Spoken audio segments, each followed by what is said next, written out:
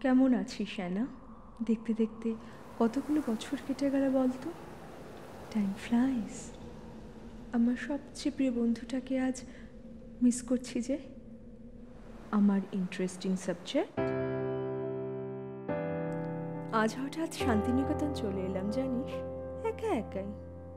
তোর সাথে প্রথম যেদিন দেখা হয় সেই দিনটার কথা বড্ড মনে পড়ছিল। সিঁড়ি দিয়ে আস্তে আস্তে উঠে এলি মিষ্টি করে।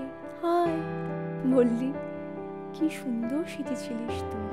মাথায় আবার একটা স্কার্ফ